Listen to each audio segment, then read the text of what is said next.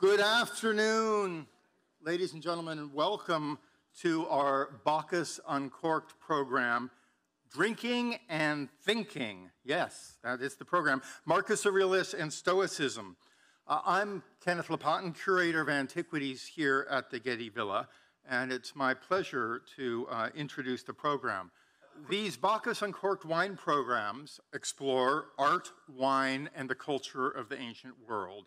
And our event today is generously supported by the Getty Villa Council, for which we are very grateful, and um, I'd like to acknowledge the presence of council members here today. Our theme is inspired by the gold portrait bust of Marcus Aurelius, which is the star of our exhibition, The Gold Emperor from Aventicum, uh, Marcus Aurelius was not only emperor of the Roman world, but also a Stoic philosopher who wrote down his thoughts about leading a just life. And his book, titled The Meditations, survives and is still widely read. Our first uh, special guest is Dr. Denis Genequand, director of the Archaeological Research Center and Roman Museum in Avenches, Switzerland where the gold bust of Marcus Aurelius was discovered and usually lives. Dr. Genequand will briefly introduce the bust and its ancient context. After Dr. Genequand, our main event will be philosopher Barry C. Smith, director of the Institute of Philosophy at the University of London School for Advanced Study.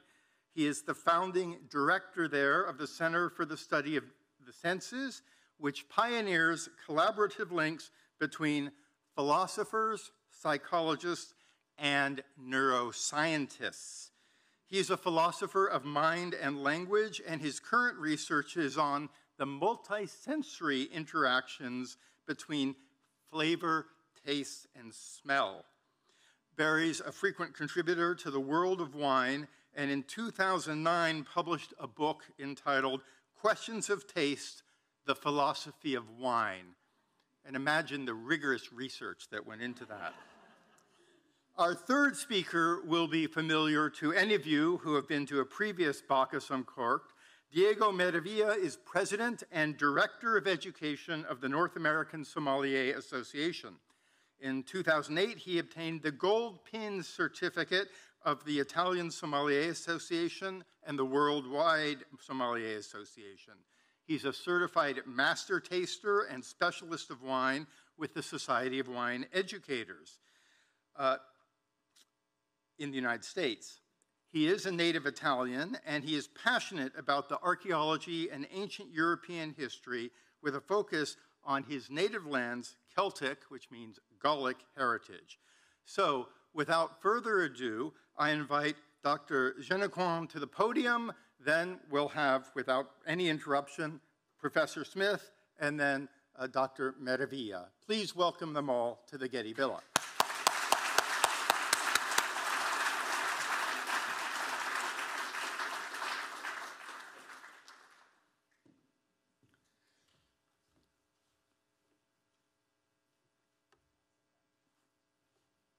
Ladies and gentlemen, good afternoon. It's a pleasure for me to introduce this uh, this event now with a few words about the discovery of the golden bust in Avenches, Aventic, ancient Aventicum, and to, to, give you also a few words about the history of this site. Avenches is the largest archaeological site in Switzerland. It's situated roughly in the middle of the Swiss plateau, and it has been the object of, of archaeological research since the 17th century. Uh, all this provided us with a huge array of information about the, the site, and we are able now to, to reconstruct it as follow, as a very large Roman city which thrived in the, between the first and the third century AD, the plan of which is really well known now, with the city, with the, the city itself, with the living quarters, the forum in the center, and a number of large monuments, religious and also amphitheater, theater. All these monuments were excavated since, I said, um, the, the second half of the 19th century. In 1938, between 1938 and 1940, a very large excavation was launched in one of the sanctuary of the, the city, the sanctuary of the, the, the Cigognier. Uh, this was led by the archaeologist Louis Bosset, and it was uh, originally organized as a program to provide employment for jobless people at the end of the 30s. Uh, they employed a huge amount of workers and started excavating this sanctuary, the one that is not working very well. Here is the, the sanctuary with a temple in the center and a courtyard with portico uh, on the side. It's a building that is over 100 meters wide, uh, quite impressive, and architecturally it's very similar, inspired from the Forum Pacis in Rome that was um, uh, built by Emperor Vespasian in the early 70s. During the course of this excavation, on the, on the 20th of April 1939, an extraordinary discovery was done. And it was during the clearing, the excavation of an underground water channel, a sewage pipe, uh, that was crossing all the courtyard of the sanctuary, that you can see also on this slide, that the workers found the golden bust of Marcus Aurelius. This bust is the one that is on display in the Getty Villa since the, the month of May. It's one of the very few occasions to see the, the original of the, of the bust in an exhibition out of Switzerland. Uh, it, has been only, it has been on display only five times out of Switzerland. This is the sixth time, and it's the first time that it's crossing the, the ocean going, coming to, to the American continent. The gold bust is a rather large piece of, uh, uh, of um, uh, ancient art. It's 35 centimeters high, and it's made of a single sheet of gold, 22 carats gold, that has been worked in repoussé, and it weighs uh, 1 kilo 589 grams. That is 3.5 uh, pounds. Uh, there's been some debate on the identification of the, the emperor. Of course, it is an emperor because it is gold. Uh, at the time of the discovery, they, thought it could be uh, Antoninus Pius, or later on in the 70s, uh, another scholar proposed it might be Julian the Apostate. But all the studies that have been done, the comparison with other portraits, especially on the coins, tend to show that it is Marcus Aurelius, and that's the, the commonly uh, admitted identification for now. Thank you for your attention.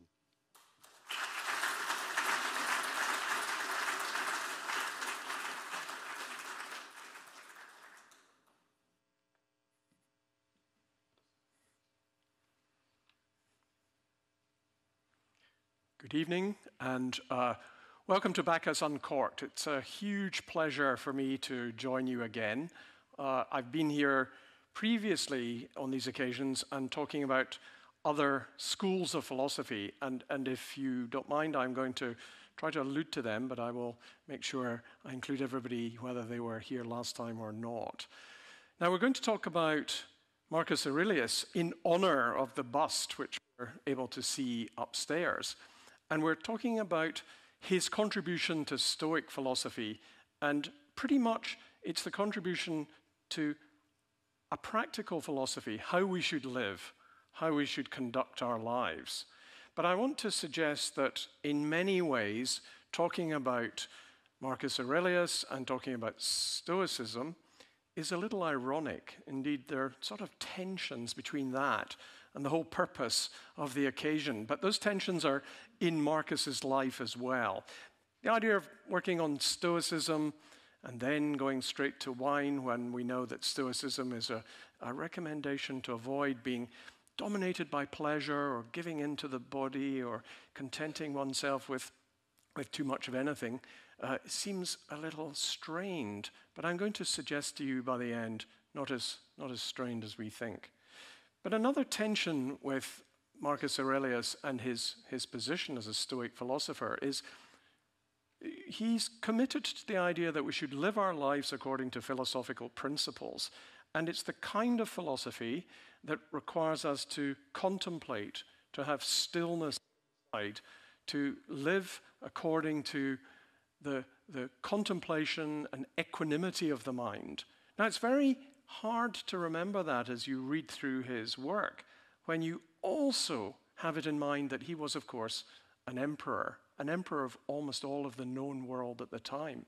He was engaged in military campaigns and battles against the uh, uh, Parthians and against the Germanic barbarians, but, but there he was recommending us to say nothing, nothing that happens in, in our lives, any event, we shouldn't take it too seriously, we shouldn't let it dominate us. We should let our fates determine how our life will be lived, and it's up to us to, to bear our fate and to accept it well. Now, it might seem it's easier to accept your fate if you're the emperor of Rome and the, the known leader of almost everything you survey. But he was one of the so called five good emperors. And to put them in order, uh, we have Nerva, and then we have um, Trajan of column fame, and then we had Hadrian of wall fame, and then we had uh, Antoninus, uh, also of a smaller wall, more further north in, in, in the British Isles and well into Scotland. But what's interesting about the five emperors, and maybe something that was responsible for them becoming good and just emperors, was the way in which each of them inherited their position. Because uh, Marcus Aurelius was the adopted heir of Antoninus, not his own child, his own son, but, but someone he adopted and, and, and, and put in place to be emperor. And Antoninus had had this fate conferred on him by Hadrian, who in turn had been the adopted heir of Trajan. And so, in some sense, each of them was there on merit or was chosen to fulfill that fate. And again, one of the tensions we see in Marcus Aurelius' life and in his Stoic philosophy is that he didn't follow this tradition. And perhaps he should have, because his son was put on the throne after him and was Commodus. Commodus is so famously a bad emperor that he has the supreme fate of being the denouement of Gladiator and killed by Russell Crowe. so, so a really bad emperor. Uh, but, but let's go back to the man we're here to talk about and whose life and whose thoughts and writings we're here to celebrate. So these writings and these thinkings and this contribution to, to Stoic philosophy come to us from what we now call the meditations, but, but which were really jottings and writings that, that Marcus just called to himself. And when he wrote down notes in the evening, probably after being in campaigning battles, they are admonitions, they are uh, little aperçus, little aphorisms, things that try to remind him how to behave, how to be well, uh, ordered in mind, how to accept his fate, and how not to take anything too seriously. Because everything, according to the Stoic philosophy, was going to pass and change and any moment was no more important than the moments that would still come and the moments that had receded and were now in the past. And in fact, the Stoics thought we had to live every moment in the only moment we could occupy, which was the present. And we had to take it as no more important than all the moments of the present that would fill up eternity. So it was a, it was a philosophy of letting things go and allowing things to be as they were and to deal with that, to be able to uh, accept that, accept your fate. And of course, the gold bust is on this front cover of a very old Penguin Classics uh, book, which uh, was my copy of the Meditations, which I had since I was a, a schoolboy and young student, with its yellowed pages. And, and I have to tell you that I left it on the plane coming from London to Los Angeles. But, you say, oh, but, having just read and reread Marcus on Stoic philosophy, I thought I mustn't, I mustn't let this trouble me. I must let this go. if I hadn't been reading and rereading the thoughts of Marcus Aurelius, I might have been much more perturbed by this. I'll let it go. now, thank you. So there I was doing a practical exercise, unbeknownst to me, but one that was thrust on me by fate, I like to say. Now, Stoicism is one of those Roman schools, along with Epicureanism, Cynicism, skepticism. And uh, it borrows a little bit from Epicureanism, although it, it rejects the idea of uh, indulging oneself in sensory pleasures and experience, and it, it rejects some of the metaphysical thinking behind uh, Epicureanism, and we'll get to that because that's terribly important about why Stoicism ends up being a practical guide to life and a guide to accepting one's fate. Now, when we look at Stoicism, we can look at it as a set of philosophical uh, ideas ideas in physics, ideas in logic, ideas in metaphysics, but, but principally ideas in ethics. But quite often, ideas in ethics are principles or recommendations or grand theses about what is morally good or right or what we ought to do. But instead, in, in, especially in Marcus Aurelius, we have in Marcus recommendations of how to live, how to be, how to content oneself with the life of the mind, and how to live a well ordered and measured uh, mental life. So it's much more about a, a, a therapeutic way to conduct moment to moment life rather than a grand philosophical theorizing about what is right. Now, Marcus plays a role in a, in a line of three important Stoics and three important contributors to this school of philosophy. And the first of these is Seneca, who was not only a philosopher but also a playwright. He wrote some very powerful and dramatic, seven, I think, tragedies, some of which reappear in their theme in Shakespeare plays. But, but Seneca says this we suffer more in the imagination than in reality. And you might think, well, what does he mean by that? And especially as somebody who writes plays and who's uh, consumed with ideas of the imagination, other of those tensions. But I think the idea is following on from something that we got from Epicurus, where Epicurus says this the things you really need are few and easy to come by. But the things you can imagine you need are infinite, and you will never be satisfied. So again, it's about recommending being contented with one's lot.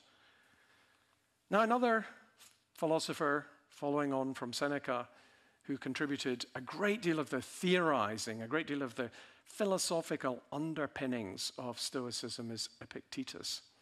Now, Epictetus influences the following saying of Marcus Aurelius, but it's only when we realize what the philosophical theory of Epictetus is and was that I think we'll understand this in full. So here's the, here's the thing that is really got from Epictetus, but that Marcus very much appreciated.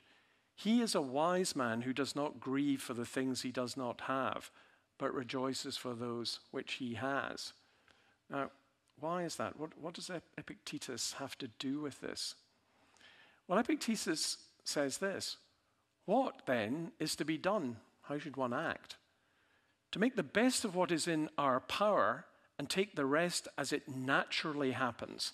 So there's a contrast between what's in our power and what naturally happens.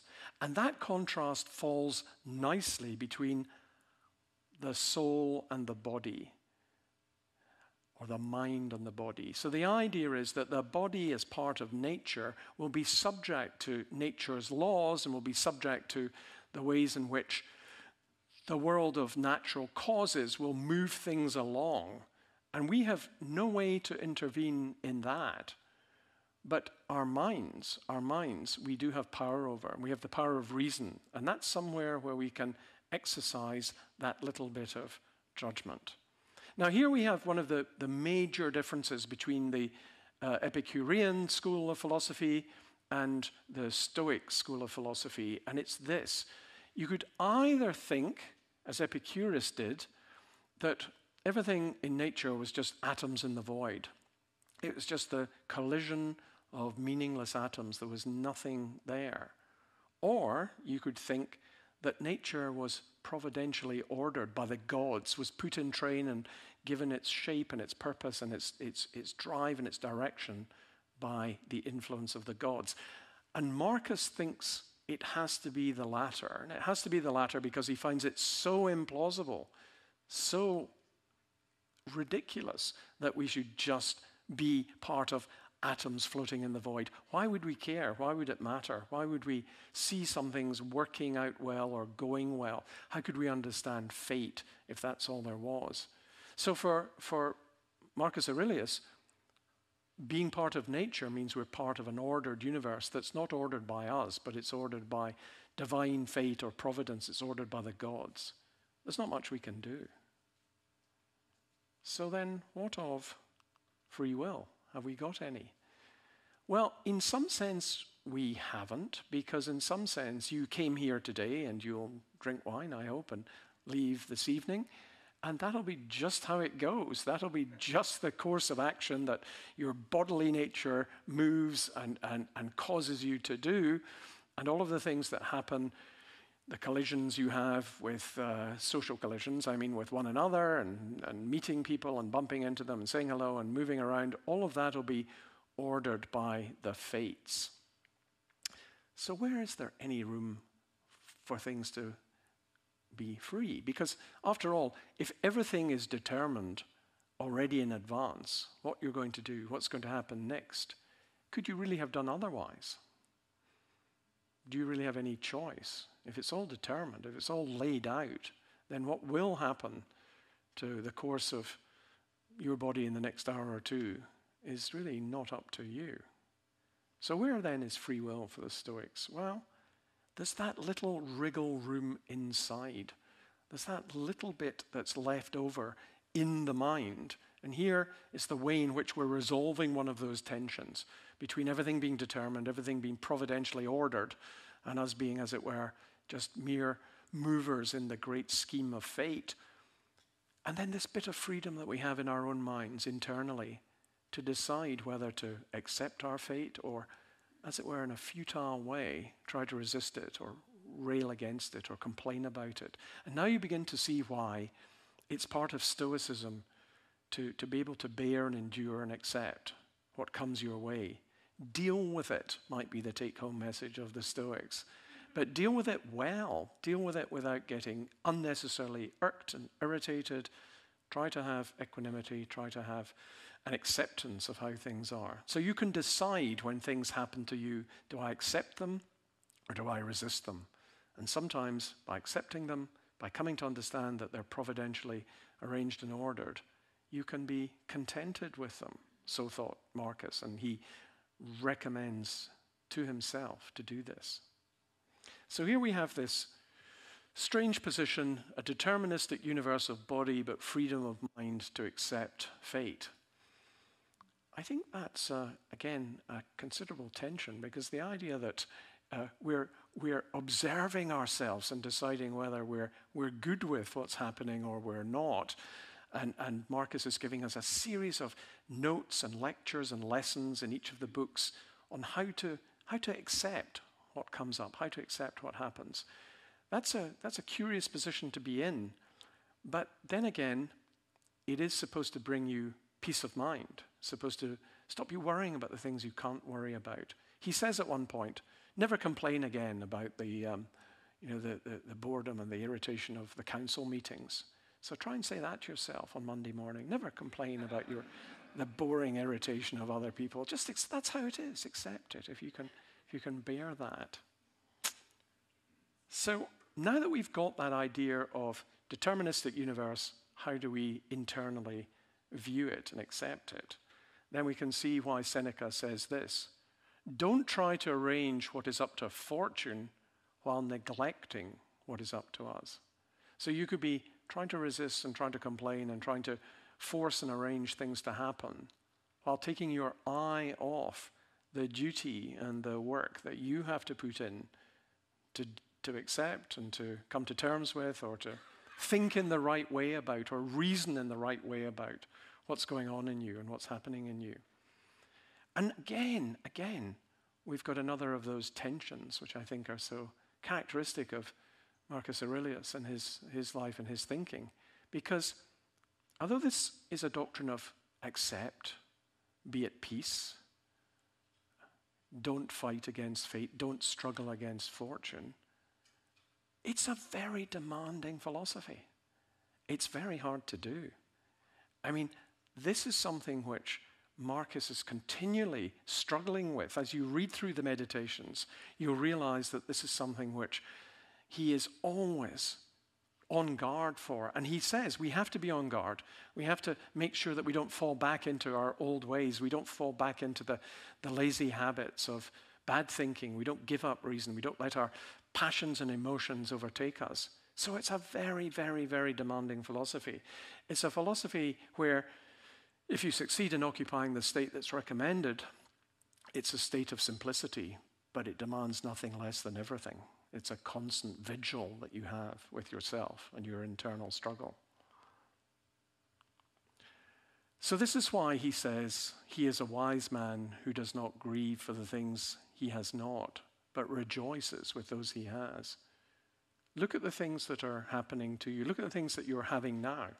So, as I think to myself, should I let the loss of that, that copy, my copy of the meditations, should I let it gnaw at me? Is it going to be like a wound that nips in winter and I'll think about it uh, from time to time and miss it? Or should I, since I have no power over that probably, so I very much doubt whether LAX has preserved it carefully for me. Uh, it's bad enough trying to get your laptop back, which I have left on planes before. But um, I, I do think that he's, he's saying instead, look, I'm here. I'm talking to you. I'm having this wonderful opportunity to share with you and talk to you and discuss with you later these thoughts. I'm, i have the opportunity to see the, the, the, bust of Marcus Aurelius that's come from Avenches and is very seldom on display. So I rejoice at that. I should take my pleasure in that and not be distracted by other things. So here we have an emperor who is also trying to tell us nothing much matters. Live in the moment. Don't, don't try to chase or seek or or attract the, the, the approbation and approval of others. It's not important, it's not worth anything. But he's also the most important man on earth at the time. This strange thing. But the one thing that he does concern himself with again and again is death. He's very preoccupied with death, and you see him wrestling and trying to come to terms with it and trying to struggle with it. And he often says, you know, if, if things are annoying you, or if someone is annoying you and causing you a great deal of irritation, remember they'll soon be dead. and, if, and if that doesn't work, you might say, well, remember you'll soon be dead, and that's supposed to be somewhat comforting. So, you know, this is, this, is, this is on his mind. Now, it may also be on his mind because at least four of his children died. He had five children, four of his children died. And he watched that. It may also be the explanation of why he takes the wrong decision and puts Commodus on the throne instead of adopting someone else. So he's, he's preoccupied. And although he disagrees with the Epicureans about a lot of the ways to live and the things that matter in life, the senses and the experiences and the pleasures, he's very grateful to the Epicureans and he notes them for their way of thinking of death. And here's this quote that, that uh, he much admires from, uh, from Epicurus Death, therefore, the most awful of evils, is nothing to us, seeing that when we are, death is not come. And when death is come, we are not. This thought can be put much more pithily, and was, by Ludwig Wittgenstein in uh, Tractatus uh, uh, Logico Philosophicus, where he says, Death is not an experience in life. So it's not something that we shouldn't fear death. We might fear dying, but we shouldn't fear death because we're not going to be there to experience it. And this was a comfort to, uh, to Marcus. Marcus thought of that as one of the most important things. But he, he talks again and again. He's thinking about death again and again. Now, um, he even tries this. He says, I want you all to try. Imagine this is your last day. Imagine that you're going to die. You're going to have this wonderful wine tasting. You're going to go home, and in your bed, asleep, you're going to die. Well, it's quite likely. It's most likely. In fact, it's about 99% likely that you're going to wake up tomorrow morning and say, I didn't die. And he said, Well, then regard every moment since then as a gift. Just think you, it could have been your last day, it's not. So each day that comes, take it. Pay attention to it, enjoy and experience it. So, this is Marcus coming up with a, a very demanding philosophy, which, which he calls the art of living or the way of living, uh, which is a kind of self mastery. How do you banish those dark thoughts? How do you avoid them? What do you, how should you counsel yourself not to be in the position to be constantly fearing or be distracted by things you can't change? But here are some of the things he said. He said, Very little is needed to make a happy life. It is all within yourself, in your way of thinking. You have control over your mind, not external events. When you realize this, you'll find strength. It's a kind of peace, it's a kind of freedom to realize the only thing you can affect is how you think about what happened. If something happens that seems terrible or insulting or makes you angry, he said, you're, you're losing control of yourself when you give in to that. But if you note that that's what's happening, you have some room to stand back, and that you have control over. The happiness of your life depends upon the quality of your thoughts. That's true. As you live your life, you know, if you, if you dwell on things, if you worry away at them, if you let anxious thoughts drive you, if you're consumed by that restless internal monologue, that's not good quality of thought, and that's not going to give you a happy life. So, this is the art of living is the art of self mastery, having power over that bit of you which you have power over, which you can do something about. And he says, Remember, the soul becomes dyed with the color of its thoughts. If you harbor dark thoughts, you're going to have a, a darkness and a shadow that will hang over your life. Don't do that, he wants to say. So here's the simple way of summing it up. Again, remember, simply put, very difficult to do, right? But simply put, it's this if it's not right, do not do it. If it's not true, do not say it. Okay, very simple precepts, but ones that take a lot to live up to. And he knows they take a lot to live up to because he says, For shame that ignorance and vanity should prove stronger than wisdom. And we only have to look at our current state of the world and our political leaders to realize that that might often be true.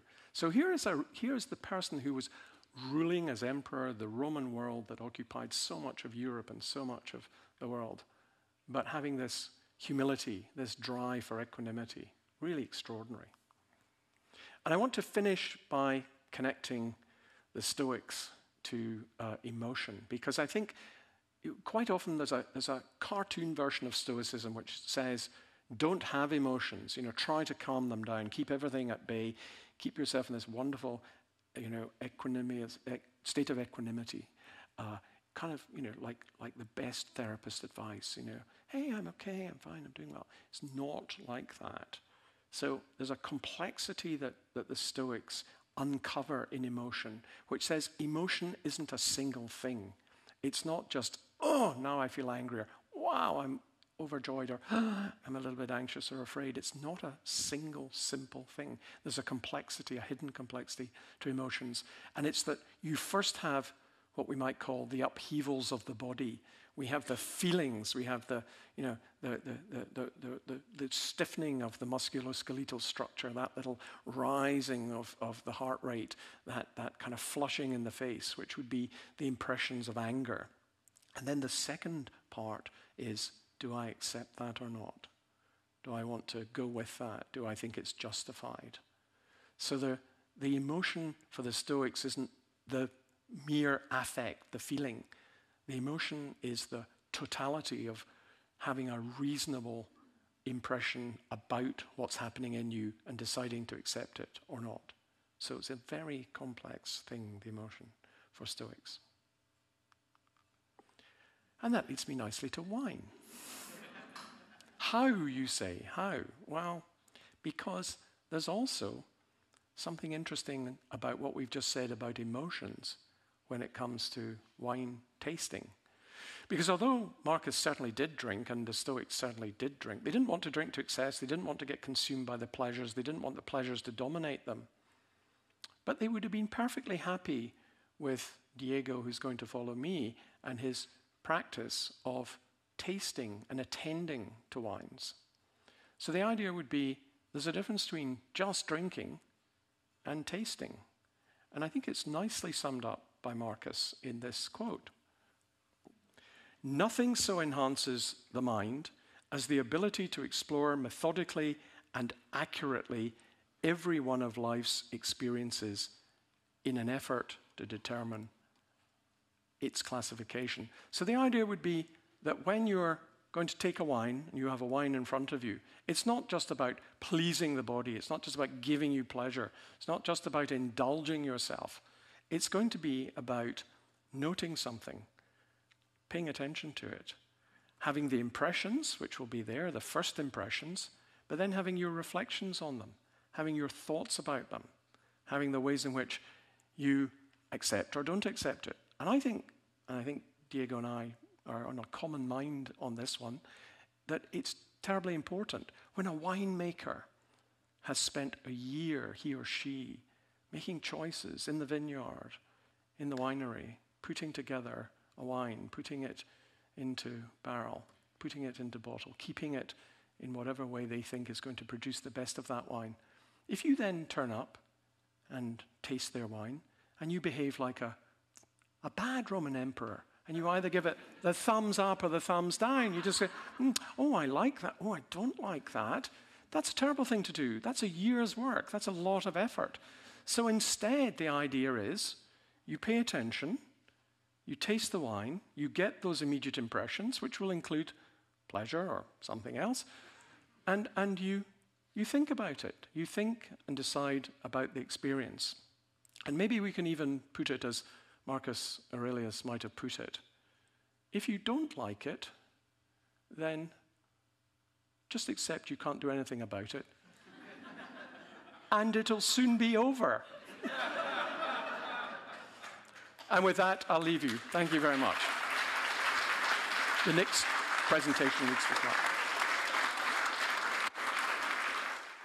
Thank you very much, everyone. Ladies and gentlemen, welcome back to the Getty. It's Thanks to all the staff for having me here again. It's great to be reunited again, Professor Smith. So I've always been a, uh, a fan of Stoicism. I've always been an admirer of Stoicism, but for some reason I find myself far more akin to Epicureanism. I wonder, I wonder why. Although, although, when things do happen to me, I do deal with them with a good drink. Right? So I guess there's some connection there. Let's quickly do an overview of what would have been wine in Roman times and how it changed throughout the expansion of the empire, arriving at 180, uh, the year 180, when uh, it was the height of Marcus Aurelius' empire. So, back in uh, Roman times, wines would have been enjoyed in a way that is not common for us today.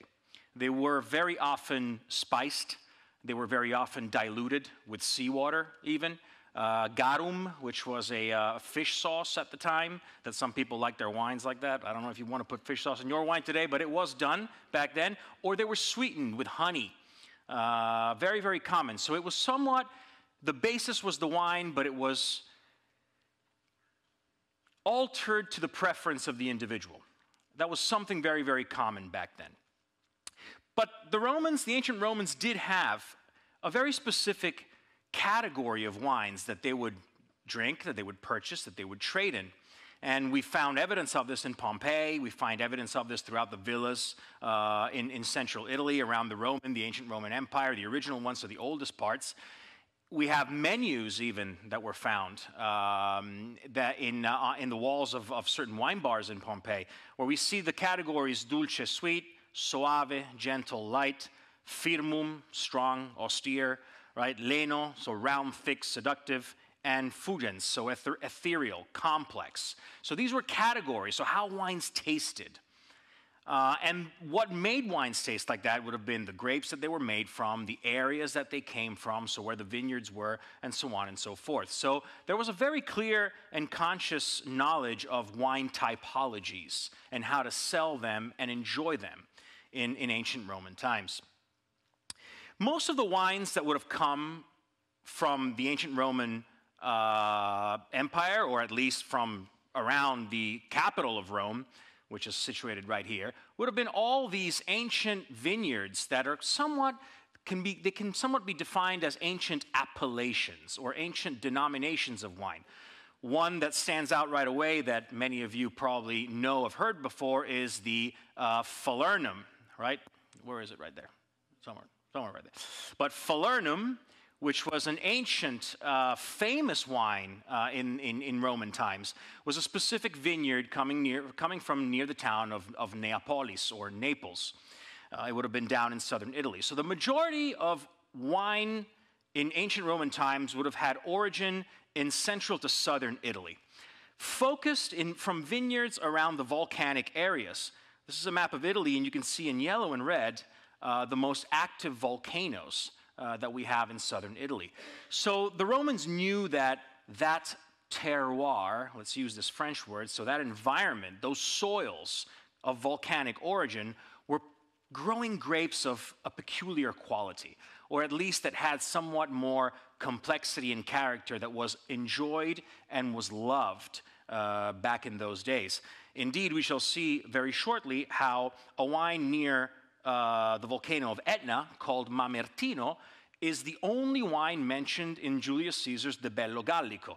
So, the book of the Gallic Wars from Julius Caesar, he actually mentions serving when, his, uh, when he was uh, uh victorious in the Gallic Wars, serving uh, this Mamertino wine to his guests. So, we start getting the notion of wine trade across the empire as the empire expanded, across the borders. And this led to certain changes. This led to certain discoveries. This led to certain creations of typologies of wines uh, that we will enjoy today. So, if we take Marcus Aurelius as the base theme and we look at the Roman Empire at the height of Marcus Aurelius, we see that we pretty much encompass the entire Mediterranean basin, containing still to this day some of the most, if not the most famous and important wine growing uh, regions or countries in the world. All of Italy, France, Spain, uh, Greece, of course. So we have the capability now of understanding that we can source wines and enjoy wines that have a tie to the ancient Roman Empire coming from a series of different origins, which in turn will give us a series of different profiles. Before we get to this part, or at least the highlight uh, of this evening, let's rewind a little bit back previous to Marcus Aurelius. Early in the Roman Empire, the Romans were focused really much only on the coastal part of central Italy. To the north of them, they had the Etruscans that gave the name to Tuscany. Very important very, very important wine makers and grape growers.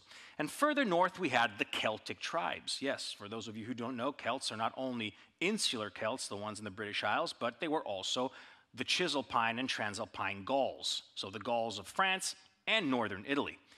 And it was Julius Caesar at a certain point that, after the expansion of the Roman Empire, that began conquering firstly all of the Italian peninsula and then reaching you know, the Celtic tribes up north, it was Julius Caesar and the Gallic Wars that really started the expansion of wine across the Italian peninsula borders. Um, the Gallic Wars culminated obviously with uh, the uh, victory over uh, Vercingetorix, the uh, Gaulish uh, chieftain who uh, withstood uh, Roman expansion for a long, long time and was a fierce warrior. And he finally threw down his arms and was captured, arrested, and taken to Rome as a trophy of war. But the expansion of Julius Caesar's campaign in the Gallic Wars also expanded wine. It was then that wine was introduced beyond the Alps in what was Chisel, Transalpine Gaul. So the vine was introduced into France, uh, wine uh, production was introduced into France, and then so on and so forth across the empire. And this brought about changes. It brought about changes in the way that the grapes were grown, the way the vines were trained. It brought about changes in the way the wine was made or aged or stored that created variations in profile, in taste profile. it also mutated the grapes and the varietals as they were moving across the empire, encountering different environments, encountering different soils. The grapes would mutate, the DNA would change throughout you know, the, the centuries and become something different, something that we have today. And it was indeed this expansion that really started setting forth the notion of wine trade across the empire. And with wine trade across the empire, everything going out and then everything coming back in to the capital of Rome, we start seeing a very sped up evolution in wine styles, in grapes, uh, and in wine making, even. Uh, indeed, we uh, uh know from uh, Julius Caesar, as we mentioned before, that wine from Sicily, Mamertino, this town in Sicily, was brought up all the way into Cisalpine Gaul to celebrate, into France to celebrate his victories. But also, uh, we have a, a, a, notion of a switch in um, wine making style. Because when the Romans arrived in Cisalpine Gaul in northern Italy, they encountered for the very, very first time something extremely important. They found that the Gauls over there were tall, industrious, skilled in producing excellent wine, which they stored in wooden barrels as large as houses. This was written by Strabo, or Strabone in Italian, right? So Strabo wrote that indeed they encountered the Gauls storing their wine not in clay amphora, which was the way that the Romans would have done, but in barrels made out of wood. The raw material over in, the, in, in, that place was wood. The largest raw material available was, would have been wood of various typologies, from chestnut to oak uh, and, and so forth, elm. And that's the material that they would use to create these containers. So it's there in northern Italy that for the first time we encounter the use of oak for wine. Very important, very, very important because it alters the profile. This is an ancient uh, Gaulish uh, flask with uh, written vinum naxum. So it's the name of someone that's, be, that's gifting this vinum or wine from Naxos, Naxum, which is a city in Sicily. So again, we start seeing this expansion of wine taking place. Not only do the winemaking techniques change, the grapes start mutating and change. They encounter certain native varietals growing around the empire that they incorporate into the winemaking, but also viticultural techniques change. Uh, the Arbustum gallicum is a, is a clear example. Uh, a type of a vine training technique uh, of growing vines tied to trees very, very high up. That alters the profile too, creates wines with higher acidic uh, content, creates wines with certain different taste and flavor profiles. So wine really starts shifting away from that typical Roman falernum, amphora, diluted, spiced, sweetened, you know, to something different, to more flavors, more variety in terms of wine profiles and of grapes as well. And most importantly, we start seeing the use of oak for the very first time. Uh, we know today that oak is widely used in, in, in winemaking, in modern winemaking, and it's used not only to age the wine in a specific way through oxygen exposure, but also to impart flavors. So that would have been the first time in history that we start seeing wine gaining oaky flavors, or these spicy vanilla, uh, oak uh, mandated um, aromas and aromatics in the wines. So very exciting because it gives us the possibility to really look at the entire Roman Empire during Marcus Aurelius as a market of export and import of wines in all their different profiles. Thank you.